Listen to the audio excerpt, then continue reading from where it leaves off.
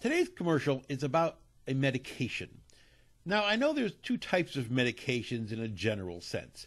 There's medications that you have to take to survive, to keep yourself healthy, and there are what I call elective medications, things like Viagra, things like uh, testosterone, or something like that. Today's medicine is Chantix. It's a medication that supposedly helps people stop smoking. Um, let's take a look. My name is Herb. I live in Northport, Alabama. I'm semi retired and I'm here to tell a story. My parents all smoked, my grandparents smoked. I've been a long time smoker. My uncle was a murderer, my father was a murderer, my grandparents were murderers, so I must be a murderer. Just because your parents smoked and your grandparents smoked doesn't mean you have to smoke. Come on. You know, discouragement is a big thing in quitting smoking. I'm a guy who had given up quitting. He's a guy who gave up quitting. That means he quit quitting. Hmm. Can you quit quitting? If you don't even start in the first place, isn't that the same thing? He should just quit smoking.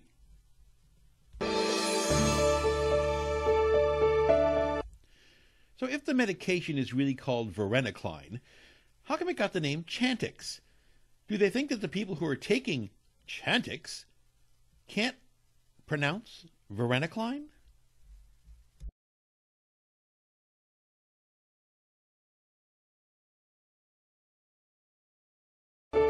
What caused me to be interested was Chantix is not a nicotine product.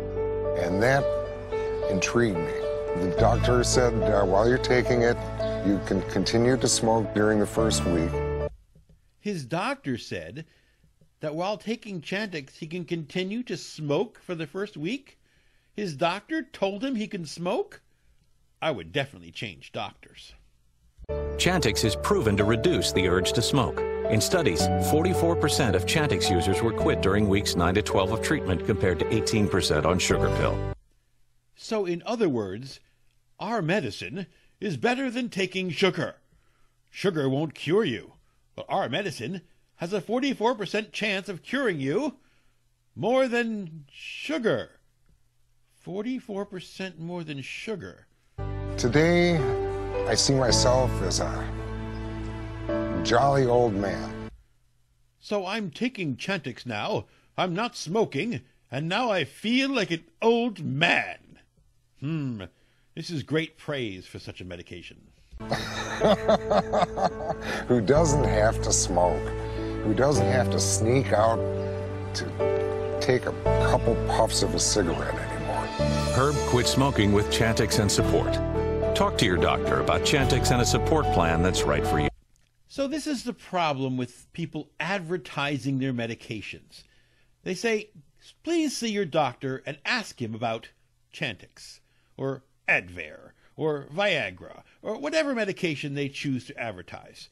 So rather than having your doctor make an independent decision on what medicine you should be taking, they want you to go to your doctor and suggest to your doctor, I want to take this medicine. You know, I don't think the general public is really in the position of choosing the correct medicine for the correct ailment. I think that should be left to a trained physician. What about you? Some people have had changes in behavior, hostility, agitation, depressed mood, and suicidal thoughts or actions while taking or after stopping Chantix.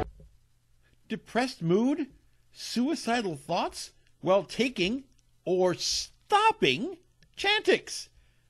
Well, that will certainly get you to quit smoking. If you commit suicide, you probably won't smoke anymore. I wonder if they were part of the 44% that stopped smoking in the first 9 to 12 weeks. If you notice agitation, hostility, depression, or changes in behavior, thinking, or mood that are not typical for you, or if you develop suicidal thoughts or actions, stop taking Chantix and call your doctor right away. So if you notice you're having suicidal thoughts, stop taking Chantix and call your doctor right away. Really, they need to tell you to call your doctor right away But it won't help. They said even if you stop Chantix, you might have suicidal thoughts. So whether you take it, whether you stop it, call your doctor. Tell him you want something else. Talk to your doctor about any history of depression or other mental health problems, which can get worse while taking Chantix. Just a question. Shouldn't your doctor already know if you're having depression? I mean, it is your doctor. Some people can have allergic or serious skin reactions to Chantix, some of which can be life-threatening. Wonderful. If suicidal thoughts aren't enough, now you can have a rash that's life-threatening. This Chantix, I really have to get some of this. If you notice swelling of face, mouth, throat, or a rash, stop taking Chantix and see your doctor right away. Again, you're having these kind of strange symptoms? Wouldn't you go to your doctor anyway, whether you were taking Chantix or not? What would Chantix have to do with it, other than cause it? Tell your doctor which medicines you're taking, as they may work differently when you quit smoking. You really have to get a new doctor. I mean, if you have to keep telling your doctor what medicine you're taking, isn't the doctor the one who's prescribing it? Please, if your doctor's prescribing Chantix and doesn't know what other medicine you're taking and doesn't know you have depression, get another doctor. Chantix dosing may be different if you have kidney problems. The most common side effect is nausea. So after all these side effects, the most common side effect is nausea. Oh, this just keeps getting better and better. Patients also reported trouble sleeping and vivid, unusual, or strange dreams. Until you know how Chantix may affect you, use caution when driving or operating machinery. So now maybe you shouldn't even drive your car. How are you going to get to the doctor if you have swelling? I don't understand. Chantix should not be taken with other quit smoking products. Well, if Chantix is so good, why would you even want to take any other quit smoking products? Interesting they would say that.